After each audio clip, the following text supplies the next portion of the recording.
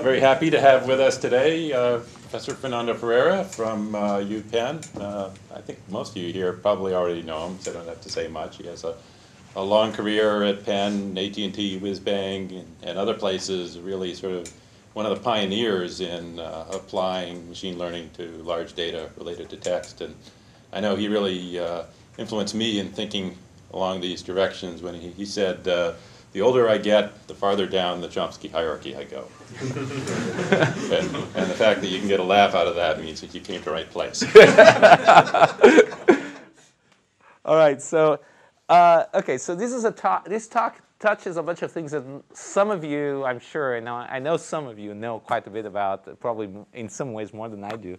So what, what I'm going to do is to cover, I mean, basically give you a little, a little bit of what some of the main things I've been working on relatively recently, some results, re relatively recent results on uh, work I've been also doing over the last uh, seven years or so. Um, my former student, Ryan McDonald, over there in New York, has done a lot, applied some similar techniques to parsing that I'm not going to talk about. Uh, you know, he's a much better person to talk about that. Um, but what, I, so also, I, I mean, there's a bunch of related themes that I don't have slides for, but that kind of come out of this, this, uh, this work or touch on this work, which are broader than just the specific technical work uh, here. So if, uh, if you have any questions, I'll have a way of going on tangents from time to time. I might not cover all the slides because of that. And if you ask questions, which I really would appreciate, uh, you know, you can drive me into other, in other directions as well. So this kind of serve, think of the talk or the slides as sort of a prime, some way of priming a conversation, uh, if we can do that.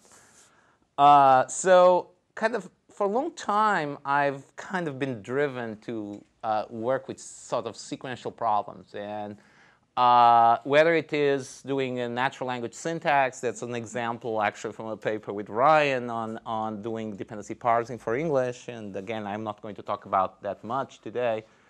Uh, or I, you know, one task that we've been working on quite actively, uh, actually Ryan also worked on uh, extensively when he was uh, uh, in my group, which is to uh, do named entity extraction for biomedical text, uh, PubMed abstracts. And I'll actually talk about more, a little bit about, more about the motivation for that and sort of the um, sort of some of the under, uh, underlying the applications that motivate that. So the the point there is, you know, uh, people have lots of biomedical text where they like to know what what is it about? What uh, what biological objects does this text discuss? Uh, and uh, we've been trying to help a number of biomedical, biomedical researchers do that, as many other people have been doing. And the final example sequences that, so this is, when I went, came to Penn, one of the things I was, motiv I motivated me is that I was really getting interested in application of sorts of various kinds of machine learning models for sequences to um, gene prediction. And now, uh, there was computational gene prediction was alive and well, uh, and I kind of saw what people were doing and say, oh, I think I can do better. And well, it took four and a half years to do better. Uh, and one student was an extremely persistent guy. Um, and uh, so it wasn't as easy as I thought it was. I thought it would be six months when I started. Well, not really six months, but uh, a little bit, maybe a year or so. But uh, finally, I think we got somewhere. So now, I know we'll have a mixed audience in certain sense. I mean, some of you guys know a lot of what the work I've been doing, uh, and there's you know other people here I probably who I don't know probably know less. So again, if you ask me questions, if you if I'm going to slowly say, hey, come on, move on, you know, uh, I, we know that. Or if I'm going to, uh, you know, if I'm going fast, just stop me. And uh, again, try, let's try to make it interactive. So I'm going to use, for purposes of ex exposition, I'm going to use a schematic picture. And that doesn't mean that this picture is exactly what we're doing the, in, in each application, but generally what I'm looking for is we have sequences of some kind, whether it be text or speech. Uh, I have also worked a lot on speech, but I'm not, I've not, don't, don't have anything new to say about that. Um, although my former, you know, so one of the students at Penn was uh, advised by Lawrence Saul, did some really nice work applying the techniques I'll discuss today to speech recognition. He's now a postdoc at Berkeley. Um, uh, Fei Sha, so he's one of the people I acknowledged in, this, uh, in the slides.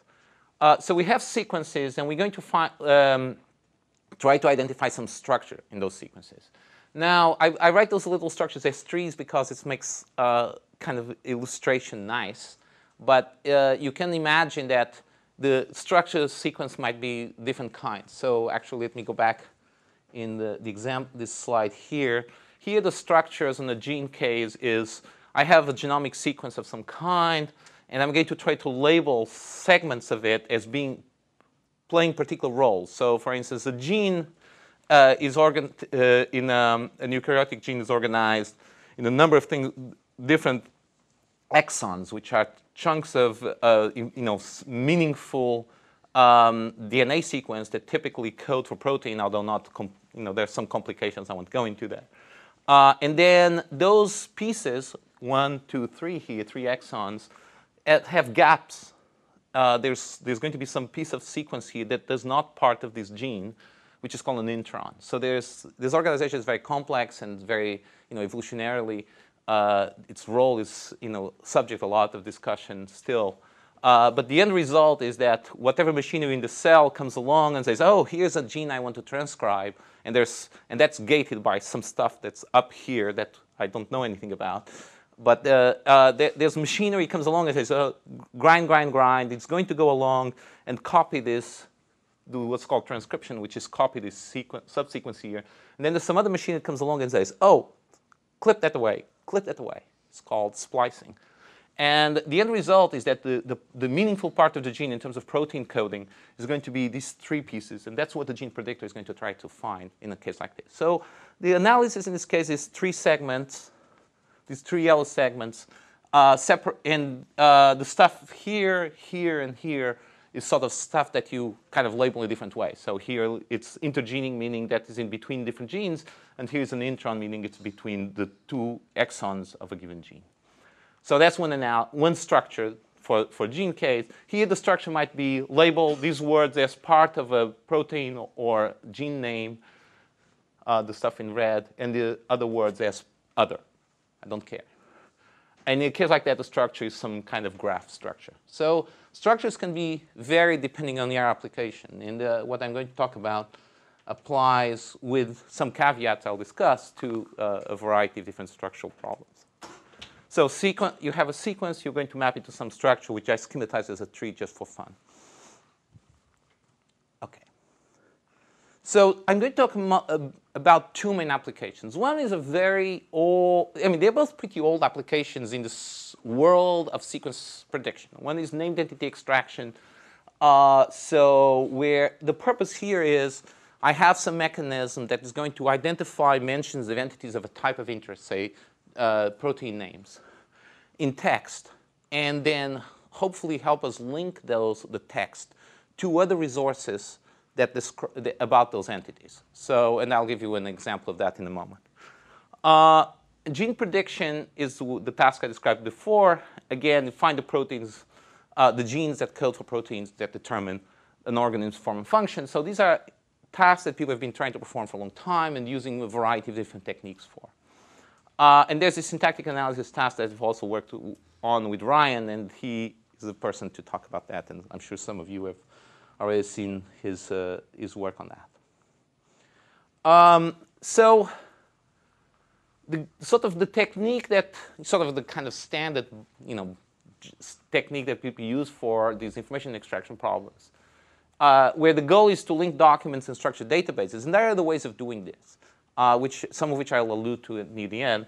Uh, but the methods we are using, which in a sense are pretty traditional, uh, where the sort of the innovation is, is in how we do one of these parts, is go along the text uh, using a machine learned model to identify, um, to tag mentions of the entities of interest. So for instance, protein names or person names or company names. Um, and, and then once you find these mentions, you have to map them or normalize them to actually to the things that you, to uh, in a way that allows you to link to other external databases about these entities. So to make that more concrete, I'll give you an example that we've been working on. Uh, many of you, I'm sure, know of PubMed. PubMed is a search engine uh, run by the National Libraries of Medicine, uh, which is a division of NIH. uh, and indexes abstracts of pretty much all biomedical articles published uh, in English. So there's a query up there that I, uh, I got, and for no particular reason, except that it fits with my next example.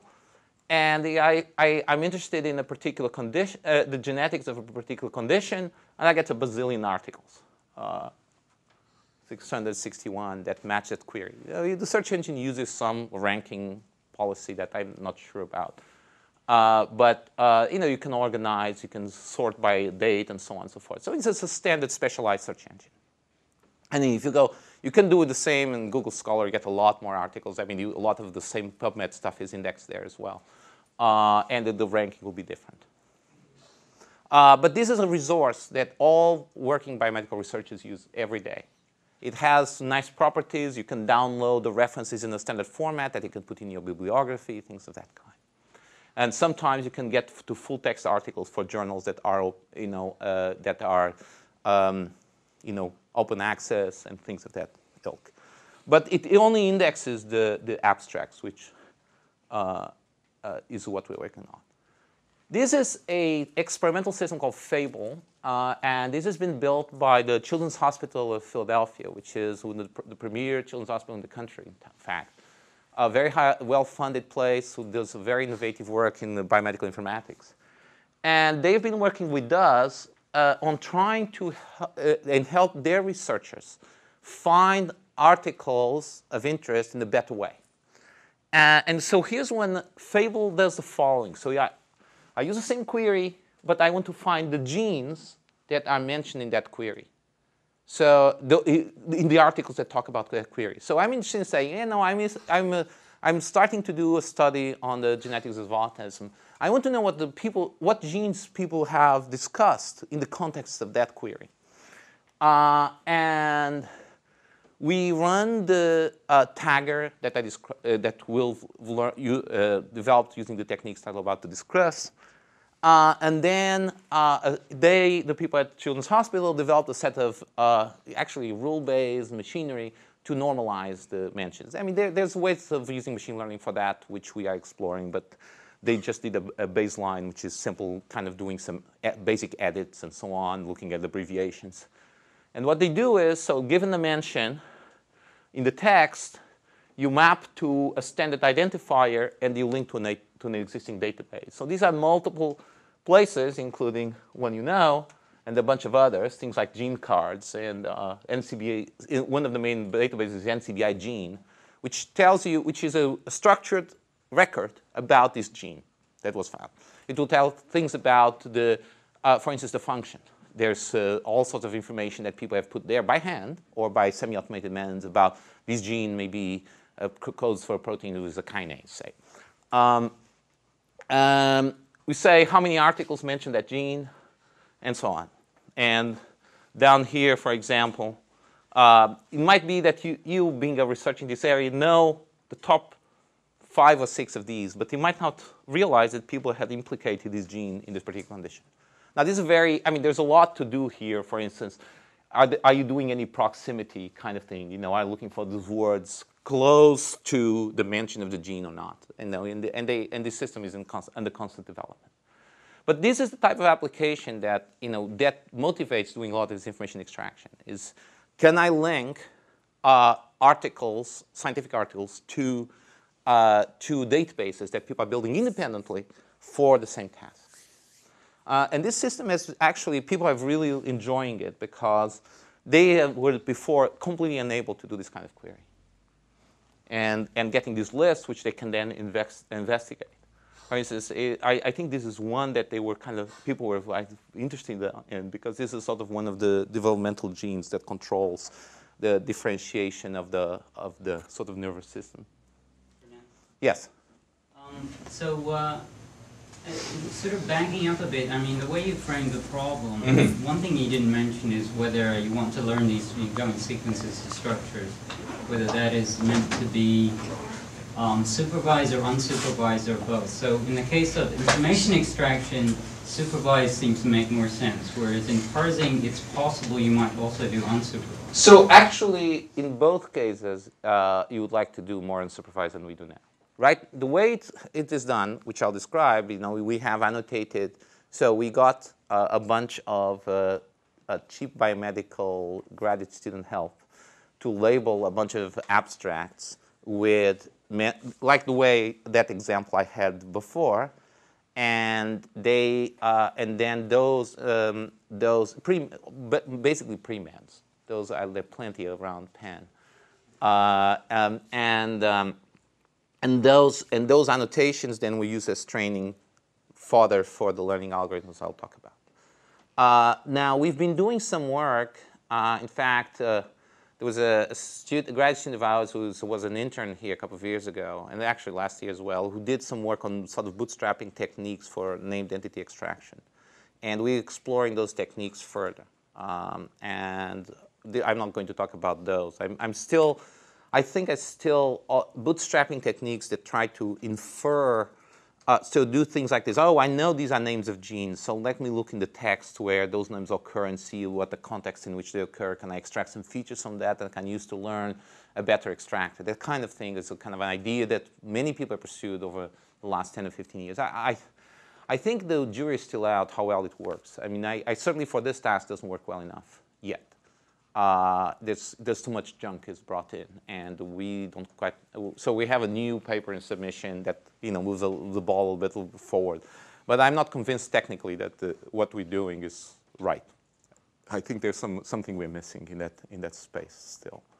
Uh, that's what we like to do because labeling data is a pain, right? And also it's uh, difficult to get quality, high quality annotated data.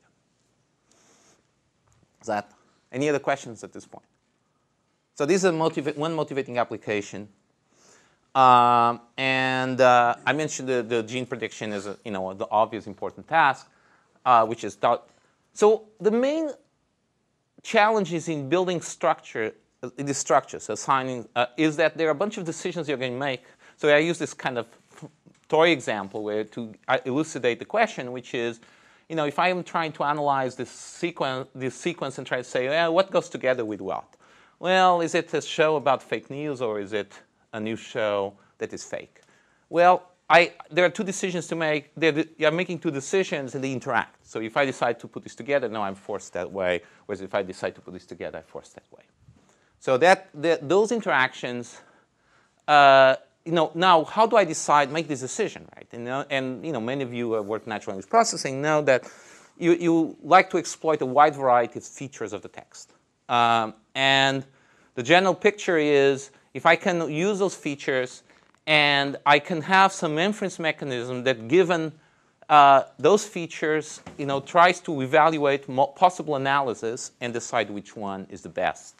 Uh, now that can be costly because in general there might be a very large number of analyses for a given sequence, typically exponential length of the sequence.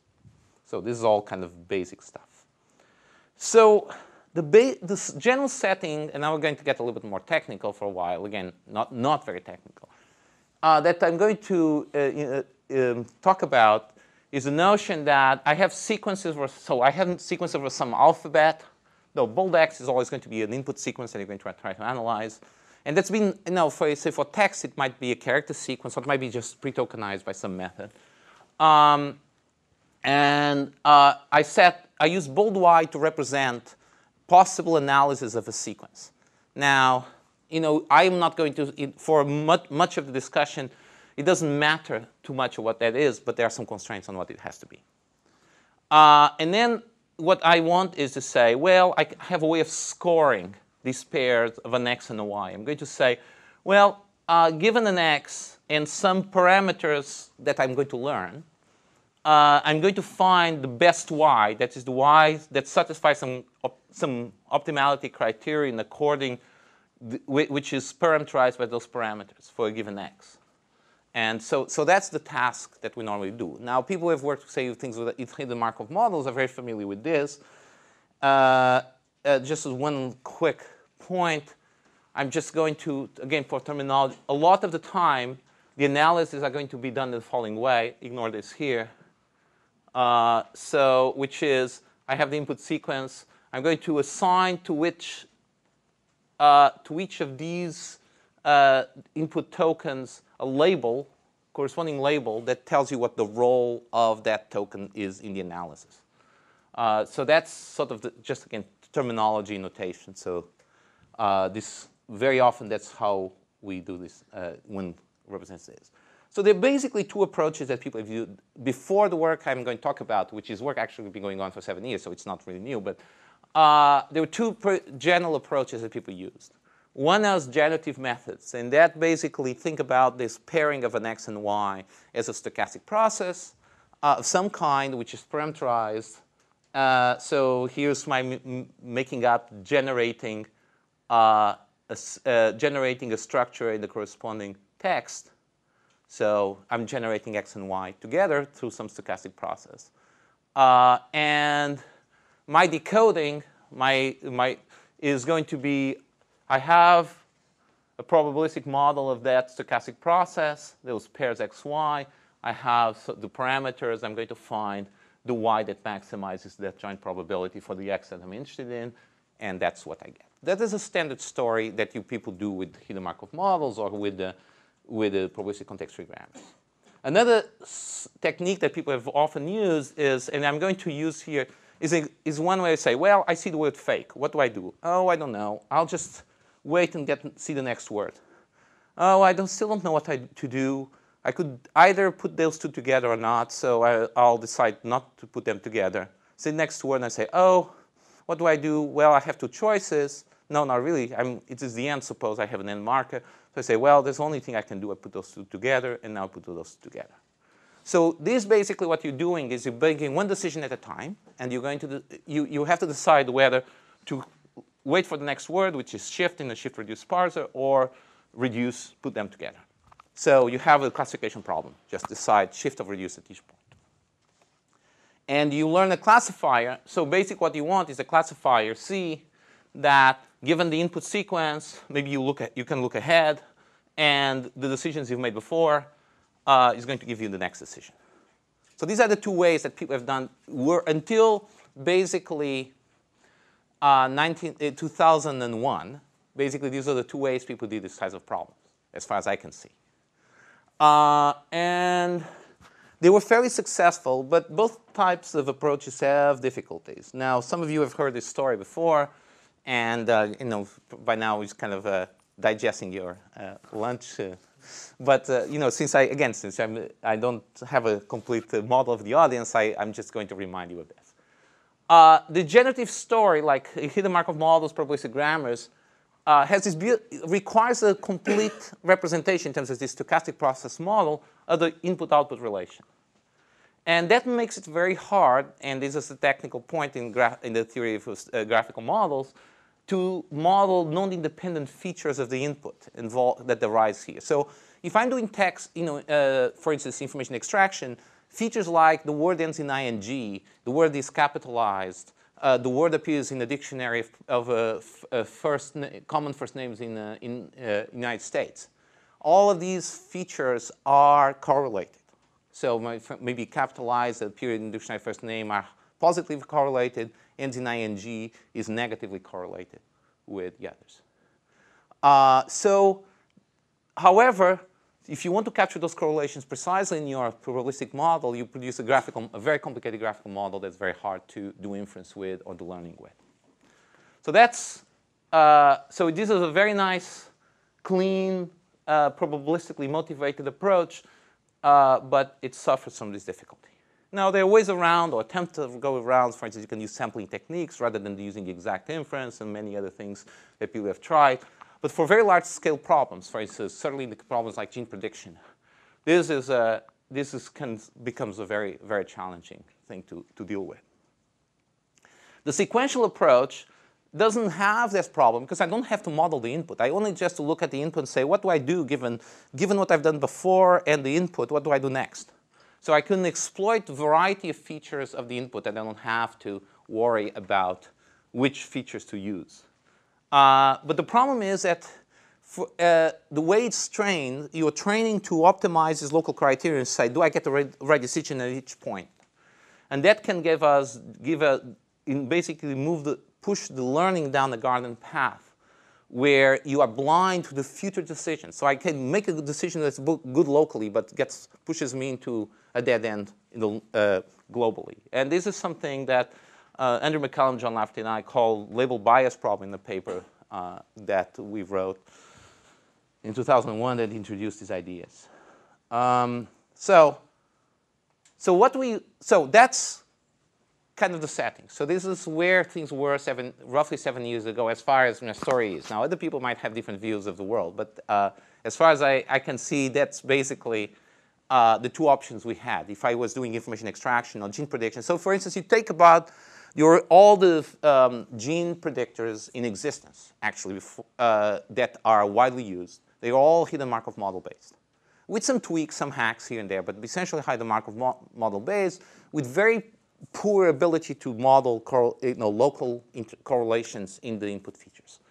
Uh, the best uh, uh, text information extraction tools developed, for instance, the work at BBN, was all also hidden Markov model based. And that was basically the state of the art for these problems around uh, 2001, no, 2001 or so.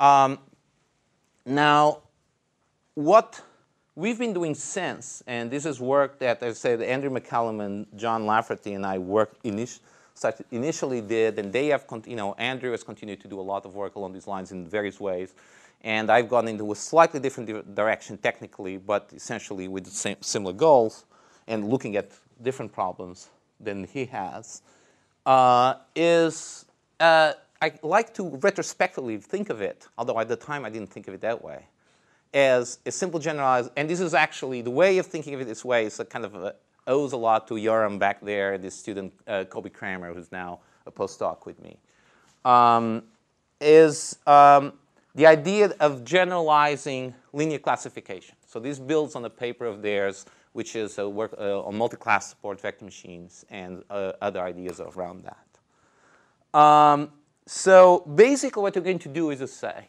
well, I have x's and y's. And I'm going to have a bunch of features of these pairs. You know, as features are observations. Look at the x and y. Are these a good pairing of an x, an input x and output y or not? And you can have, so you have this big F here is a feature vector. It's going to say, oh, I like that, I dislike that. I may be like, you know, so you basically you might think of it as binary, not necessarily, it need not be, it might be a real value, but in, in mostly for applications we, we write, that's a binary feature vector that says whether I like or there's good agreement between what the input looks like and what the output, the proposed output looks like.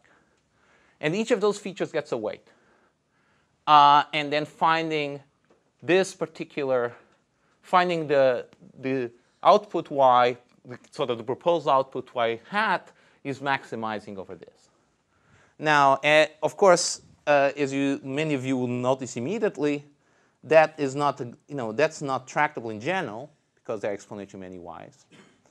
Um, so what we're going to do is that we're going to do exactly the same thing that people do for HMMs and uh, probabilistic context grammars, which is to impose some kind of a Markov assumption in this into in this inference problem. So what we're going to do is think about this feature function as a sum of feature functions that look basically at all can look at all of the input x, but only a little piece of y. Uh, so a bounded piece of, of the output structure y. Uh, so these f sub c's, we call these local domains c, uh, are is going to be a function just does depend on a subset of the choices that you can have for y. So for instance, if I'll give you, I have a picture here. Why, why don't I show the pictures? So here's an example where we're doing something part of speech tagging, which is another task where you assign to each word it's most likely in context uh, part of speech. So this is a JJ is a uh, Penn, sort of a brown corpus label for an adjective and used for a kind of noun and show for another noun. And I, the local domains might say, well, I'm going to look at pairs, consecutive pairs of labels and the consecutive pairs of inputs. But I could also, for instance, say, oh, consecutive pairs of labels, and I'll also look at that word, that word, that word, and that word. The input, what I look at, how I look at the input is, is completely immaterial from the point of view of the combinatorics. Uh, how, what how many labels I can consider at a time is critical because what you want, and this is a very general idea out of comes out of the theory of graphical models, is you want to. Uh, so here's a case where I would do the same kind of thing for trees. Again, you, you want to have these local domains.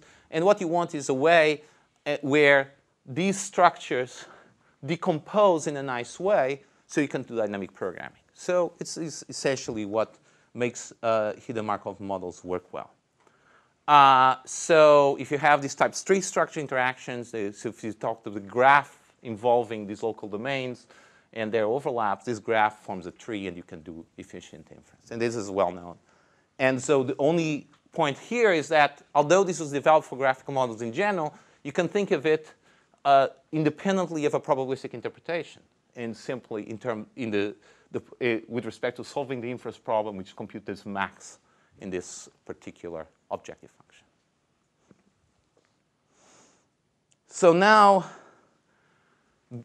given that, I want to learn one of these things. So I'm going to, uh, I, I came up with some local domains for my task, and it's like my head or my students' heads most of the time, uh, which is say, well, you know, we want a model that looks at, say, the last label, and so the last the two labels, consecutive labels, or maybe three consecutive labels, uh, and, come, and engineer some feature functions that correspond to kind of what's important about the problem. And now we're going to do is to uh, adjust W to uh, approximately that's, uh, optimize some objective function on some training data. And there are many ways of setting this up. And again, you know, Yoram Singer back there knows a lot more about this than I do. Uh, but uh, uh, the general picture here is that I want to have minimize some loss. So I have some training pairs, xi, yi. These are truth, or at least as much of truth as I can get to. Uh, and I can compute, given the pair xi and yi in the current weight vector w, a loss. How, bad, how much do I, how much did I goof in uh, trying to label xi. I will produce some y which is not, doesn't agree with yi, so I'll pay a price. If I compute a loss, overall training instances indexed here by, y, by i, and then I want to have some means of saying I don't want all w weight vectors equally because if I do, if you allow w to vary without any constraint, I could overfit the training data very badly. So I could decide that what I want is to take the, the, the norm as weight vector and keep it small. And you have some penalty term for that. You can do other things. You can, instead of having the L2 norm, you can have the L1 norm. You can do a variety of other things along those lines. Now, some of you, uh, I'm sure, have heard of this notion, of this idea that is in fact what's the, what our paper with John and, uh, and Andrew was about is this thing called a conditional random field. And there's a particular instance of this where the objective function has this loss function here. I reproduced that equation there is essentially minus log likelihood according to a sort of a, a, a log linear model, a maxent model. Basically, this is the law minus log of the probability of y given x, where the probability of y given x, you know, is just basically uh, is the the e to this minus some, uh, divided by some normalization, and I just took logs out of all that. And uh, this is sort of a normalization, make sure that this is, these are you know, conditional prob proper conditional probabilities. So this was a CRF model. I'm just recasting it in this general way. Uh, so this is what we had in mind. It's just we had a conditional probabilistic model. It's a generalization of Maxent model to the problem of sequence labeling. And then later on, uh, as part influenced again by, Yoram and, and, uh, and, and Koby, I started thinking that we, I wanted to decompose the problem of describing the problem and op what optimization I do. So this is a pretty good optimization to do, but not necessarily only one you want, might want to try. Uh, now, for all the applications, and for a reason which I, will about, I'm about to describe, so just to be the most technical and it's not very technical part of the, this. I'm going to use some, again, it's about notation. I'm going to say, what, what we're going to look in the, the training algorithms that we're going to use is this notion of a margin, which just comes out of, uh, uh, of uh, the theory of support vector machines and the sort of statistical learning theory. So I have an x and two candidate y's, y and candidate structures y and y prime, uh, and I'm going to compute the advantage, the score advantage of y over y prime. This is the margin between the two of them. So how much do I prefer y to y prime, basically, what that quantity says. And then given that margin, I can, the, the original, so the CRF loss can be rewritten this way, uh, up to some multiple, some constant that doesn't matter. Um, so basically, this is the log loss, which is maximizes the probability of correct output, which is CRF does. Uh, but the, the, often what I'm interested in, maximize probability of the correct output, is often not what I want, because that's not what I measured on. I measure not on probability, I measured on how well do I label things. So let's try to, to optimize that directly, or at least as close as we can. As close as we can. So for instance, I could say, there's a given to a y and a y prime, there's some distance between them. And for instance, it could be the Hamming distance between the two sequences.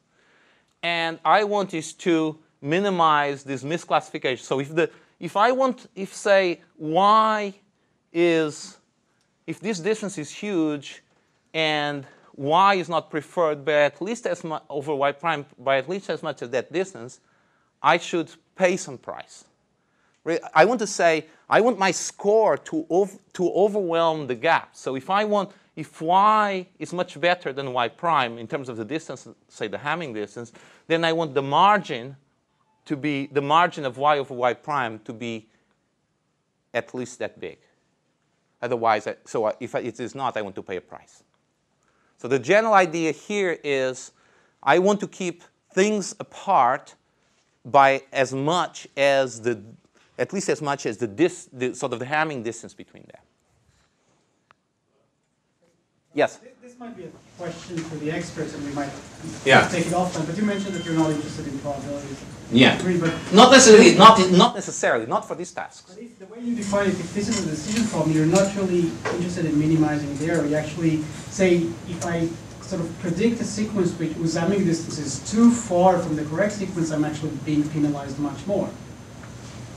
I, I mean, because uh, the margin actually, so you define your loss to be the, the Hamming distance minus the projection. Yeah. So sequences, so if your prediction is pretty close in Hamming distance, yeah. the correct sequence, you're actually being penalized less. And now the question is, what is the decision model that stands behind the, you know? That I don't know. I mean, that's the kind of thing you do, not the thing I do. so, oh, but, but the, so actually, let me just say, that for the applications I'm going to talk about, I don't use the Hamming distance. And, and, now, there is no theoretical decision model behind these. These are empirically chosen losses that worked well for the applications. So I, am going to be completely an engineer with respect to this. Now, and I, I left my theoretical friends try to, to explain, come up with a decision theoretic explanation for it. My explanation is very technical. yeah. Most of the methods, not yours, uh, sort of uses actual dual approaches. Uh-huh. If you go to the dual, the Hamming distance decomposes over the sequence and you get, get very compact dual form. Oh. If you use just the zero one error, say is the correct sequence or not, if there is no simple decomposition you can solve it in the dual. Okay, so this It's is the paper that you that you sent me that I haven't read yet. so, so I, I had I had actually to give a uh, I had to prepare the talk, and so I didn't have time to read the paper. Uh, so, I mean, in fact, these are the two loss. You know, so zero one error. That's what you talked about. It's versus the, using the Hamming error in these two examples. And yeah, the New York. Yes, uh, about, about your um, previous slide and, and viewing this uh, by working the loss function into the, into the, into the objective function um, and viewing this as a classification problem, it seems like in, in some ways it would be natural to, to view this as a, as a regression problem. Can you just comment on that? This is a regression problem. Because you're trying, you're trying to, you're trying to predict the structure, right? Yeah.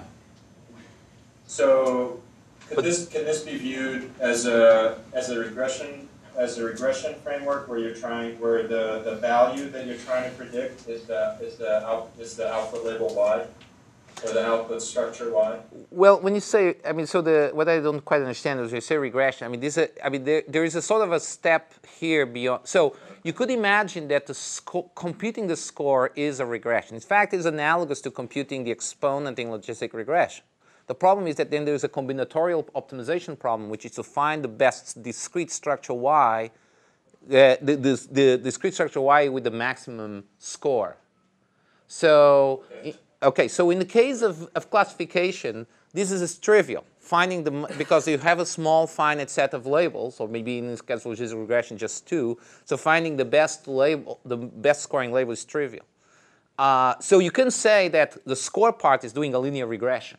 The point is that then I have this combinatorial optimization problem to solve in addition. Does that answer the question? But doesn't that, doesn't that occur in the classification setting also? Well, but the, the, the optimization problem is trivial. The, the, the, the inference problem, the part of choosing the best scoring label is a trivial, uh, that's a trivial uh, problem because you just have a small finite number of labels, you choose the one that has the highest score. Uh, so that's, that's, about, that's bounded, That- that's a kind of a constant factor. Whereas in here, the, the, the number of possible y's is exponential on the length of the input. Okay? So, so that's, that's the difference. I think there's another answer. So uh, you can look at the, uh, the log loss. If, if you look at the binary classification problem, then the log loss is exactly the same as logistic regression. And, and, and if you turn that around, then you can look at the log loss with multi-class classification as a generalization of logistic regression. Yeah. And, and, and all the other loss functions you're introducing are then generalizations of the log loss by introducing uh, this distance function, which you can uh, tune according to your application, Mhm. like F-score or BLEU score, Yeah. or whatever scores you're looking at. Right. Yeah. And I, I also had, uh, I wanted to comment on, on your uh, history Yeah. of, of, of the of the of the whole of the of the model. So you said first there were the generative models, then there were the sequential models. Well, at first they were concurrent, right? yeah, but I, I'm just I just wanted to point out that the the, the log loss models, so the uh, discriminative, conditional, log linear probability models, they have been bef- around before the CRFs came along. Right, for particular applications. I mean, so they were, I mean, the main one, I mean, being parsing. I mean, so, so there was a sort of a, I think that the real innovation is to is that people introduce this uh, uh, well this this new parameter of the loss function into of the distance function into the loss function. So I think there are several. There are several. In I mean, I mean, I'm not to say I don't. Who am I to say what was the real innovation? I think that eh, there's a package of things here. It's very often the ideas in the package of, of pro, in a, in a, eh, in some package like this. The, the ideas have been around in some form or another. Uh, what we ended up doing, you know, and, and it's not saying a kind of very enlightened and in, uh, sort of a, you know, pre, you know, sort of knowing everything in advance is by kind of we stumbled uh, over time into breaking the problem into modularizing the problem into different parts and seeing that actually, so for instance, these log linear models for, for problems with a very large number of labels, for instance, parse trees or whatever, uh, so people always thought about that, you know, everything was presented, okay, these are sort of a generalization of maxent models. And then you can actually decompose that into two things. There's a linear model, which kind of gives a scoring function. And, uh, and the, what's important about that linear model is whether you can, you know, what the, the computational problem doing inference in it. So that's so. So inference in that log linear model, which is one one set of issues. So the log linear model or the sort of linear model, and doing inference, which is find the highest scoring structure for that, and then what you penalize, what objective function you use for for learning.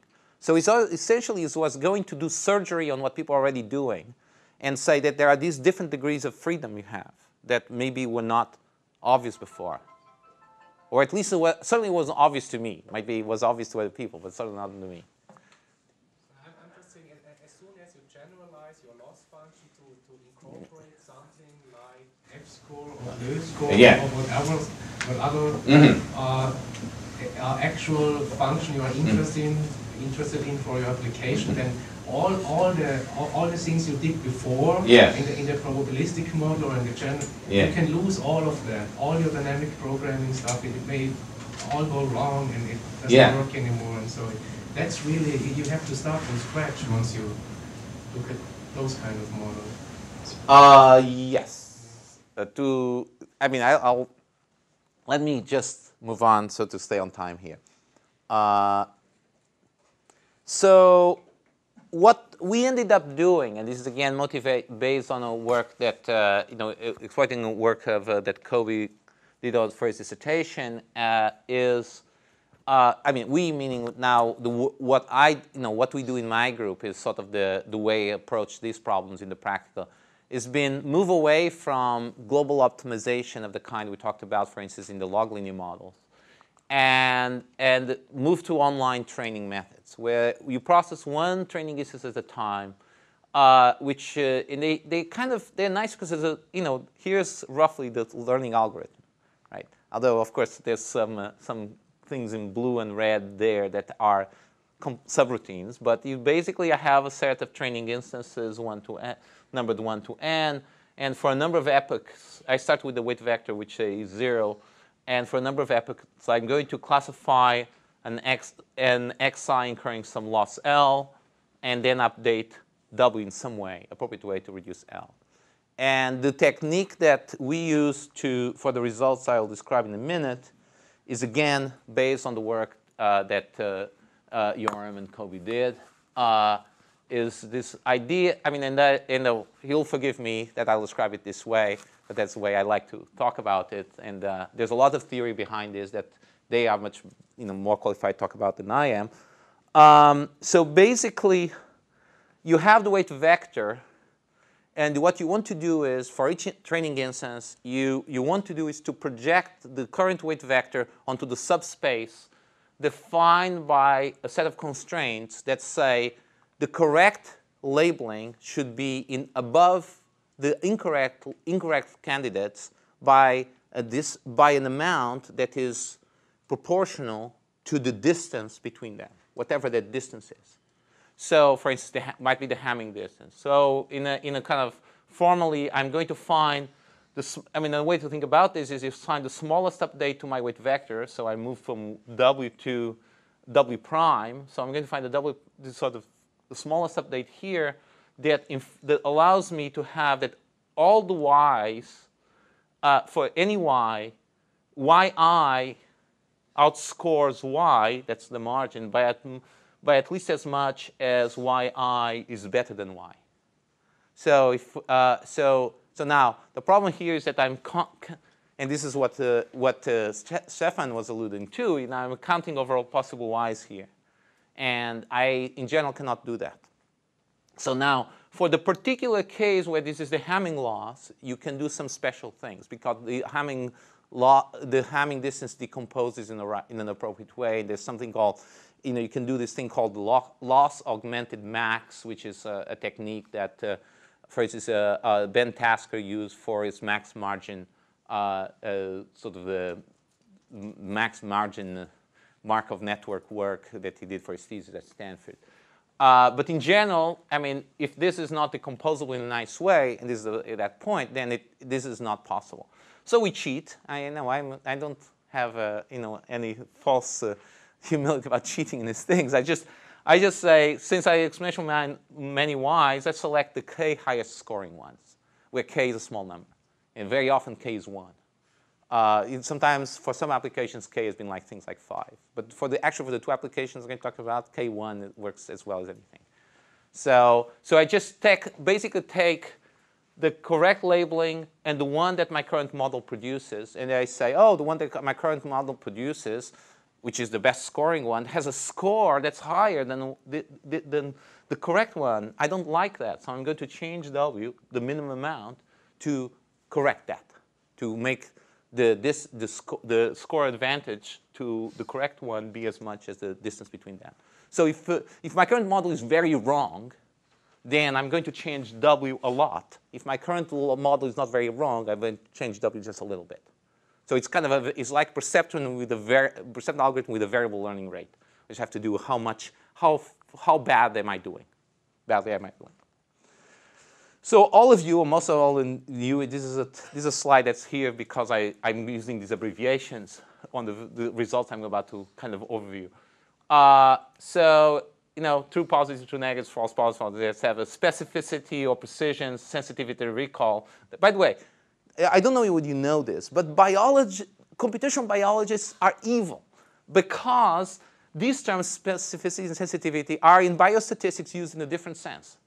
But they decided unilaterally, computational biologists, to call to call specific what they call specificity, what we call precision, what they call sensitivity, what they call recall. Whereas biostatisticians actually, what they call one of these, I can never remember which, is not. It's some other combination of true, false, and so on than this one.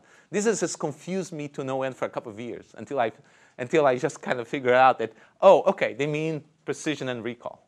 So we are, we are happy. But because we are publishing some of the results in biojournals, we have to talk specificity and sensitivity. Even though, of course, that confuses the biostatisticians that, who think of sensitivity and specificity uh, meaning something else. And often we have, a, we want to combine these two quantities and they use a harmonic mean of the two called the F1 measure, which for you who do IR and so on, is well known. So I'm going to just quickly go over the two applications that we've worked on. One is, and they have some kind of interesting things to illustrate with both of them. One is for text. So in text, we use a wide variety of features, things like label configurations and various properties of the input, such as the identity of terms, membership in term lists, various orthographic patterns, things like regular expressions to say, oh, this is a, a token made of digits only, or start a capital letter with uh, capital letters followed by dig some digits, which is very useful, for instance, for gene code, names that are some ABC1, ABC5. Uh, common prefixes and suffixes in the, you know, you just throw in everything that you think you're going to need uh, to the extent of the memory you have and, and then conjunctions of those to some extent. So it's, this is the main engineering task. Now, it is not a huge one. For this text, for the, the protein stuff, the Ryan did the first version of this, and it probably took him two weeks to do the feature engineering. And then uh, Kuzman Ganchev, was another student of mine, uh, did uh, another two weeks of work on that. So doing a little bit of feature engineering again. And the results I'm going to talk about is the result of his two weeks on top of Ryan's two weeks. So it's to total four weeks of graduate student time in designing the features we've used. Uh, on your remark about using first top k, yeah. That, when you do that approximation, so uh, what do you do about weighting these k items? We don't. You treat them equal. Yeah, but as I told you, most of the time we just use top one. Remember, they are weighted implicitly because they are weighted by their distance. Right. So the, the, the, they're not all the same distance of the correct one.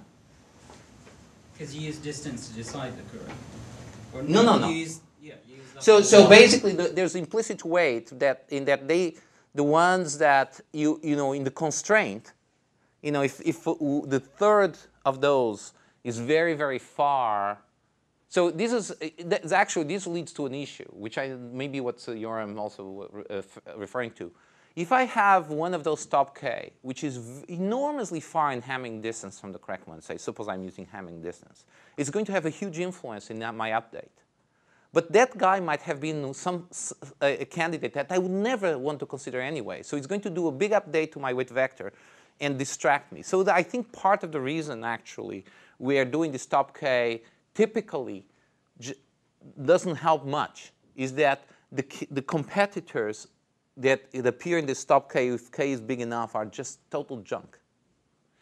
So maybe I'm not understanding it right, but it seems like also if you do top k, you're always guaranteed that there is a solution, or top one, that there always is a solution that satisfies your conditions.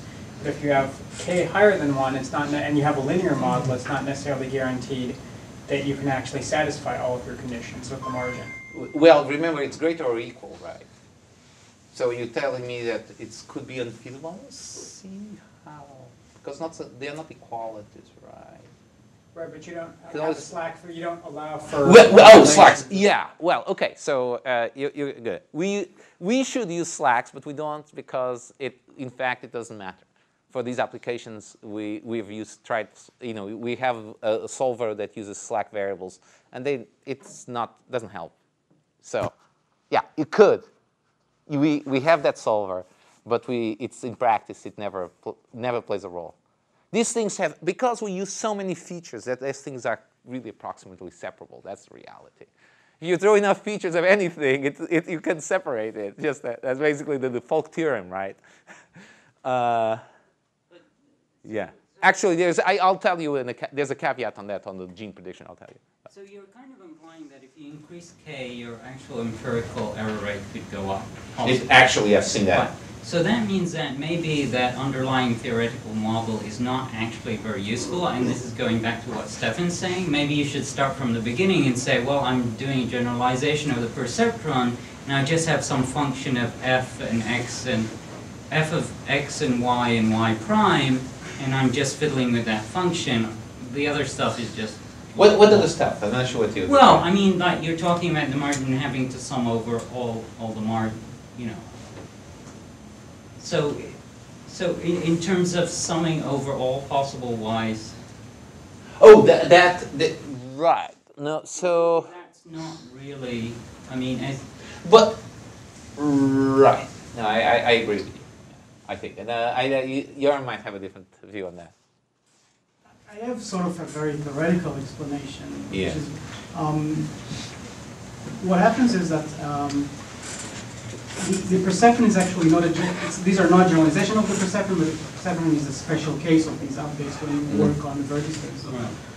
Um, but unfortunately, if you look at the theorems, no other alg- all the algorithms achieve the same mistake bound that the perceptron achieved. Mm-hmm. And why is that? Because in the case where each example is completely orthogonal to any of the previous examples, all of the updates actually, um, um, all of the different settings give you exactly the same update. You, there is a complete innovation in the new example. And we, we very, in these sort of very high dimensional spaces, it's not that all the examples are orthogonal, each example is complete, give you completely new information, but they're roughly, you know, they're very small similarity, at least at the beginning of the when learning you have enough features. Yeah. So in fact, you, you can see that if you're learning with perceptron, there's not a huge difference to using perceptron or using uh, MIRA for to start with. You know, sort of the beginning of learning, but then later on you do there's a different. You start getting some difference. When you when you get relatively few errors is when it really matters. What are the uh, theoretical properties of your modified perceptron learning rule? Do you guarantee convergence in the same sense that the perceptron learn- learning? Which modified rule? The, the, the update step where the perceptron learning rule takes a small step and you take a big step. If I get Yeah, so, so, I mean, so that's the, the, those theorems are in the Koby's dissertation, and I guess in the paper that you guys have in uh, JMLR in 2006, right? So, don't, I mean, I say, I delegate that to those guys. I'm, I'm the, the, I'm the hacker here. so, but, but the ba- basically they have similar convergence. I mean, they're slightly different, I mean, the, so if, uh, Yoram, correct me if I'm wrong, but uh, I mean, the slight differences, I mean, the, the, i- i- in, in some, in the, some of the results with respect to, to convergence rate, but they are pretty similar to the perceptron ones. So if you're just interested in the number of mistakes, the Yeah. result is an- identical. What these algorithms give you in addition is suppose you also want to count the number of times you were in, just inconfident in your prediction. Yeah. And you get a more general value. Yeah. Okay.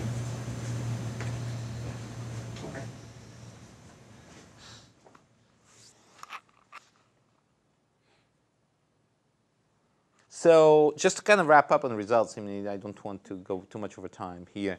Uh, so one, I just wanted to say- give an example. Some, that's kind of a nice point that I want to make about using different losses in training. So this is do, in identifying gene protein mentions in PubMed. This is uh, the, a test that was done this BioCreative 2 competition, just finished a few months ago. Uh, and this is one of the best, not the best result that people, I don't know actually, we don't know yet who, the, got the best number, which is like around 88 here.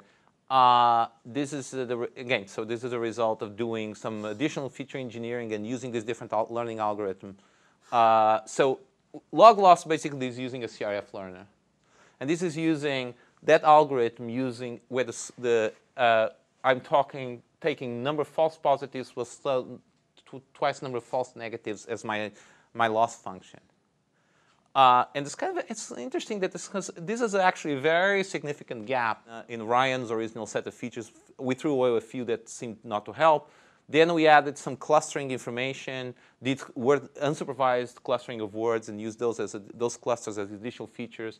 This is based on an idea by uh, Scott Miller uh, that uh, um, um, Gideon Mann at uh, UMass implemented for this task, and that helps a little bit. And then dictionaries, which you know, of course, can help substantially, although they don't help much here, help a little bit here. So in fact, you see the gaps between these things vary depending on which log, log loss you, you are, uh, which loss you're optimizing. So kind of the take-home message on this is there's a sort of subtle and not obvious interactions between the choice of loss and how features contribute or not contribute to your quality of your results. So there's a sort of a piece of engineering here in this table. This is what Kuzman did. I know the feature part and figuring out different losses when we were doing this BioCreative thing. So these numbers F1 or Yeah, these are F1 numbers. I'm sorry. Yeah. So 86, I mean, so this, for actually in practice, this number is actually pretty good. The system that the, the guys, that system I showed, Fable, using an earlier version, actually Ryan's version, which is like more like 82 something. And uh, so uh, on a slightly easier task. Since you're interested in F1, why don't you optimize F1? Turns out that, turns out, for reasons that are a bit complicated, which have to do with how this is being evaluated, uh, which is not exactly by F1. They are measuring F1 in the competition, but the, what they're evaluating in a funny way because there are two, there's a gold standard and a silver standard for each gene. There's sort of, so you're actually competing not necessarily against the correct one. There's a sort of a, a subtlety in how, how they, they are measuring quality. And this F1 is a convenient number to give here, but in fact, uh, when you did it on the development data, this is work better than just optimizing F1, a little bit better. I don't have that number here. But if you have the exact way they measure your, their, their performance, why don't you optimize that? Uh, well, it wasn't so clear exactly how they were going to measure it. That's the problem. These competitions, remember, if you ever run a competition like this, or Ryan over there has run a competition recently, you know that there's all sorts of little dark corners in deciding how you evaluate and you decide that your evaluation metric after is maybe not the right one. So I cannot be optimizing their evaluation metric because I, I, they, it, it's not totally clear what they, it's going to be. So I have to come up with something that's sort of reasonable in the ballpark because they will change some aspects because people say, oh, if you do that, then there's this, this counterintuitive uh, result. For instance, people can cheat in this way. I mean, there's, there's a debate going on all the time as the competition goes what, about these things. You know, people come out with the issues and so on. So you cannot really track that exactly. Sensitive is this to the, that two factor in the false positive and two? I mean, if you just had false positive plus false It's, negative. it's probably not significantly different. I, I, don't, I don't remember that. You know, Kuzman just say, well, this is what I got that is on the development data that seems to work well. You know, did he tried, how many, you know, did he try 15 or, I don't remember that. Yeah. So, I mean, at, at kind of a level removed from all this, don't you sort of find it disturbing that adding all these features and stuff actually made less of a difference than just changing the loss function to something which is different than what the competition was measuring anyway, right? That that made a much bigger difference in terms of the numbers than all the other engineering that went into it? Uh, yes. It- that could be a comment on competitions, actually. We, I mean, the, the reason to do competitions for you are an academic. Uh, well, well, there are people here who do competitions, so they, they, they have their, they, I'm sure they have their explanation. Uh, so it's, it's actually that allows you to measure a little bit what you're doing against what other people are doing, and, and also forces, uh, forces. You know, you've been a graduate student. You know that you sometimes have to force people to actually try something practical rather than uh, writing papers. let me tell you of another competition. And uh, I, actually, this is a more important one. So gene prediction. Uh, this is a very challenging problem. And I, I just want to wrap up because people have to go places. Uh, but this is actually the best results, the thing I'm most excited about. Gene structure is quite complicated. We represent the stru- possible structures as a complicated finite state machine that has to do with the, the relative, the structure of introns, exons. There's some biological constraints that go into this finite state machine. I, I won't describe this. There's a paper in PL, uh, PLOS Computational Biology in March 16th that describes this in detail. Um, uh, There are lots of features that we use, things like statistics of protein coding, DNA, uh, individual codons and dicodons as individual features. The length of the exon states is very important. The length distribution, the empirical length distribution is very important. So you have a, use some uh, a sort of uh, a, non-parametric representation of length distribution. Uh, and very many patterns, motifs, and motif conjunctions that have to do with uh, the structure of the DNA around the places where you change between introns and exons, and the, also the beginning of the exons and the end. It's very important biological, important but poor, not fully conserved biological evidence around there. So that's the point. Know, none of these things are fully conserved by evolution, so there's a lot of variability. But there's also some patterns that often informative. So this is a very large number of features the loss function, again, is one of those things. You know, why did I use that loss function? Well, I didn't use it, actually. Axel came up with this. This is a loss function that's often used in the literature. This is correlation base correlation coefficient. Uh, that's what he used to optimize in the, which is actually, could have used F1. Uh, it wouldn't be too different, but that's what he used in the, in the uh, just to give you an, an idea of data sets here, there's a, a, nice thing. So the training set is a very large number of genes, human genes mostly, but not only, exons assembled from various sources. And notice that most of the DNA is non-coding. So this is actually a hard problem. You only to identify a relatively number, small number of, of useful information out of this big, very, extremely varied uh, uh, data set. Uh, 54 megabases in length. And then these are three test sets. The most interesting one is ENCODE. ENCODE is a very recently annotated, very carefully curated uh, set of gene, human genes. This is a lot of work has been done to make sure that this is very biologically get, you know, uh, verified. Uh, so this is the most accurate, to our knowledge, the most accurate human test set in exist, gene in existence. There's a, some all the good ones for C. elegans and the Arabidopsis, which is a, a plant, a watercress basically. Uh, but uh, but this is this is the highest quality that the the, the sort of genomics uh, community can put together. Uh, even lower density of coding material. Uh, it's fairly large compared, you know, larger than the other two. And this long table, which comes out of the paper, these are GenScan, GeneZilla. These are four major previous gene predictors, all HMM based, all with lots of tweaks in engineering. Uh, this is basically Augustus is the state of the art as, uh, as of, uh, you know, before we published this. Let me show you something which is really striking. Gene prediction, so how do I measure sensitivity and specificity? This is exact match. Did I find the gene exactly? And this is quite important for biological reasons I'll tell you later, if, if I have time, or if you, uh, you can ask me. Even for human, which is the most studied genome, these is the numbers I get. These are percentages. This is terrible.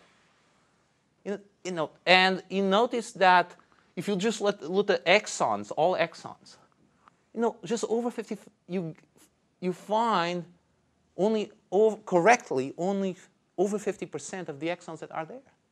This is appalling. How can they do anything with this stuff? So there's a huge amount of headroom here. So um, we move substantially better in just about everything. I marked in red the significantly better things. Uh, it's still terrible, right? Our results are still terrible, right? 13% for, it's 26% for genes, 23% for, you know, 24% uh, specificity for genes. But we move substantially over everything. And the only reason why we could do that is there are two reasons, actually. One is that we can exploit many more features than everybody else does and optimize them together. Second one, we can play with the loss function. To, and that was very important. And the third one is the learning algorithm. So, this, so here's an interesting point. We actually spent a lot of time, before we moved to MIRA, we were using Perceptron, because based on Collins. And before that, even we are trying to use uh, maximum, you know, uh, maximum conditional likelihood. And they were, we wouldn't get anywhere. These things would just fail miserably, you overfit horribly the training data. There were all sorts of bad behavior. And the reason is this data is extremely complex. And you have not a very large number of training instances, you know, use, well, still, but the, each of them is a long, complicated, complicated thing. And, you know, in, empirically, and I don't understand this fully theoretically, MIRA is a much more robust method in a situation like that. Perceptron failed completely because the, the problem is highly non-separable. And MIRA, even though without, even without slack variables, uh, still can handle that pretty well. Whereas, whereas the, the, the, perceptron the perceptron algorithm totally flailed and oscillated. It never got anywhere. Or at least sometimes it would, but you have to play with learning rate, be very careful, and then you work on one day test set and not another one. MIRA is the only one that we have confidence that it will work across different species. In fact, we applied this to C. elegans. We had never worked with C. elegans. Uh, Axel, over the Christmas break, instead of going away on vacation, uh, entered the competition for nGASP, which is a, the nematode uh, gene prediction competition. And uh, we don't know what the ranking is yet, but certainly his results were better than any of the, the gene predictors they could get his hands on. Uh, and we had never worked on C. elegans. We didn't do any engineering for C. elegans. Uh, it's a nice picture, which is actually in the cover of our article to show you the annotation, the quality of our annotations in a bunch of examples. So this is the standard annotation. This is uh, our prediction for a bunch, for some, for some examples. And know, I of course have made mistakes as well, but you know, compared with everything else, for most part, we do way better. And that shows, by the way, finding the first exon is especially important for lots of applications. And we do quite a bit better for first exon than anybody else. Actually, that's our biggest advantage. Just wrap up. Uh, training data is a pain for the supervised methods. I mean, you know, none of us likes to annotate data. And in fact, annotating data is very hard. For the genomic case, annotation, the, the building these annotations is extremely expensive, high quality. So we've been working on a couple of different things, which I won't have time to talk about, but I can talk to one-on-one with you later. One is this idea of unsupervised adaptation from one domain to another. We do this for part-of-speech tagging between uh, Newswire and, or sort of Wall Street Journal and uh, biomedical text and got some right nice results. This is a way of essentially finding correspondence between features between, in the two domains for a linear model. Uh, this is work of John Blitzer, uh, who some of you know. Uh, and, uh, uh, you know, actually the, the part-of-speech tagging was also done with Ryan, and we've done other applications of that since then. Uh, and then we've been working on those bootstrapping techniques that I mentioned already before. This is a Partha Talukdar, who's also was an intern here before uh, for a couple, uh, a couple of times. Uh, and uh, actually, what I, at this point, what I was most interested, excited about is possibly applying these bootstrapping techniques for gene prediction.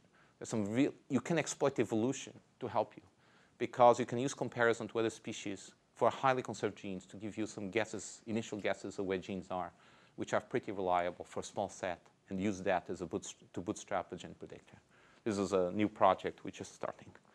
Uh, so using unlabeled, annotating unlabeled data from other sources and trying to use that as seed data for learning is uh, certainly something a lot of people are doing. And know, I don't know whether I have any really good ideas for this, but it's certainly work, something we're working on.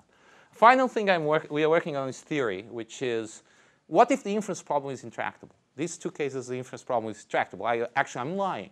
In the gene prediction case, I cannot do full search. So we're doing beam search uh, because of the semi-Markov property.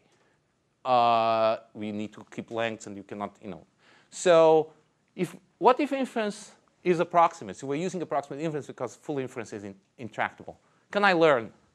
Can I learn properly? Turns out that you can have the teeny simple counterexamples that show that even a good approximation algorithm for inference can lead to, to, to total inability to learn.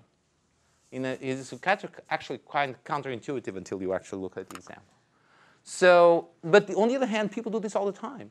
You know, so for instance, some of the Ben Taskar's results for uh, image segmentation, you're doing, is using approximate inference. It does pretty good, even though it's not, it, you know, it's using approximate inference. Why does it learn?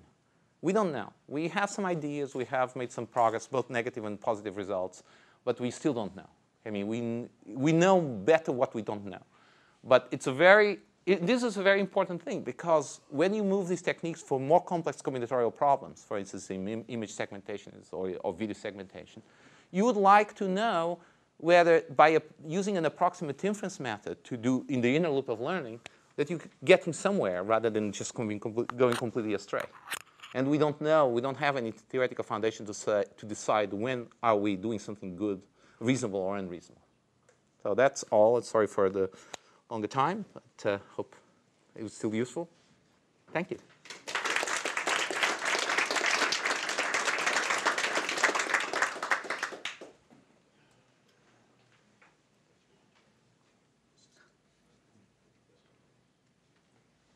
So what distances did you use for the gene? So this is this funny thing, correlation coefficient. Basically tells you one minus correlation coefficient. Do you try to find the correlations between the decision, the, sing, the, the single nucleotide decisions. Say you say, oh, is this nucleotide part of an intron, an exon, or not? So this is basically a four-way, you know, four-way or three-way decision really, and you're trying to decide whether that the, the correlation between those and the two the two labels. So that's that correlation coefficient. So if that's big, it's good. So you, 1 minus that is your loss function.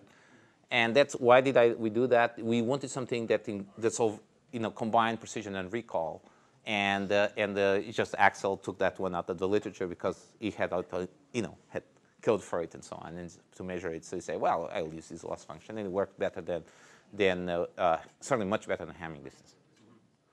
Uh, in fact, that was another of the tricks that we needed. So, so I mean, uh, part of this story is a story of a lot of detailed engineering over time, and but also a set of recipes that I think are useful for that. You know, if you are doing something like this, then I think there's a sort of building blocks here that can be used over and over again with modifications, but which you have a certain confidence, which not necessarily based on yet a lot of theory, unfortunately, but but is certainly uh, I'm feeling much more confident today than I was, you know, six or seven years ago or 10 years ago that you can apply techniques like this where you try to optimize across a very large number of features for sequence problems and get, you know, systematically pretty good results. Maybe not the best results. You know, you could always engineer a solution for a particular problem that is better. But the, I mean, you have to say in the case of the gene prediction, which is the most challenging thing I've ever done in that uh, this kind, because you know I didn't know anything about gene prediction to start with, uh, you know, besides you know kind of uh, a scientific American. Uh, and you know, Axel did. He used to uh, work at a, com a conversion biology company for a number of years before he came to Penn. Uh, but the problem is that there was a lot. There was also a lot of mechanics to do with you know, various issues with the data, the nature of the data, various issues with the nature of the, of the, of the annotation and mistakes in the annotation, um, but also issues which, which learning algorithms would work. You know, it was, you know, for a long time, we were trying many different things, as I mentioned, perceptron and CRFs and so on. They were not really making progress. And there's a kind of a, a, little kind of vignette side story here. So they were when we introduced, wrote the CRF paper, several other people thought, oh, CRFs, this is a good idea for maybe for gene prediction. So there was a group at Stanford, uh, and there's a group at, uh, at uh, Max Planck, and uh, there was also uh, some, someone at UMass, uh, one of the compile person there. And they all thought this, and I, I kind of felt, oh, gee, we're going to be scooped, you know, these people are know a lot more about this problem, they're going to. So, and so we've been working on this for four years, basically, very quietly. Uh, because you know it's a small group, just me, I have a day job, and my student, and and we had to deal with lots of difficulties in, uh, along the way. But in terms of the amount of total amount of effort, you can say it's like four and a half person years of effort for a new gene predictor, which is not a lot. You know, most of the other ones that are there are much, you know, groups of 10 people working for three or four years, things like that. Not the original GenScan. GenScan is just basically one, one person and a half working for like a few years. Um, so, but we basically beat them all to get, you know, no one else has these kinds of results using these types of methods. And the main reason was is because we we're very cynical about the whole thing in the sense that we did not get too to any theoretical model. So some people are saying, oh, we're going to do this with CRF training. So the guys here at Stanford. So they've been building more and more complicated CRF training stu- stuff, trying to handle this large language problem, but not being able to scale because the optimization problem becomes really bad when you try to do global, you know, trying to do something like, you know, convex optimization with this very large uh, amount of data. The guys at uh, Max Planck are like support vector machine fanatics. They like the dual world. It has to be all dual, you know. There's no way that you can, at least the methods they were using, they could possibly scale to the whole problem again. Because when you move into the dual space, you have this, you know, you have to compare everything with everything. And these sequences are very long. So you have to compare every piece here, everything, whether piece there, in computing this sort of a, in a, essentially doing this sort of kernel computations. You die.